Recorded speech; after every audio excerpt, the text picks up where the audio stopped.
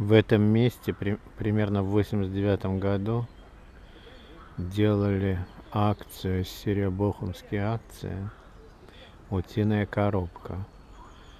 Но с другой стороны мостика, то есть вниз по течению, а это вверх.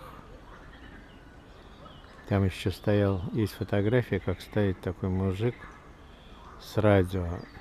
У него через ремень, через плечо висит маленький транзисторный приемник, он что-то слушает и смотрит в бинокль. Но не в эту сторону, не, это, по-моему, северная примерно страна, на юг.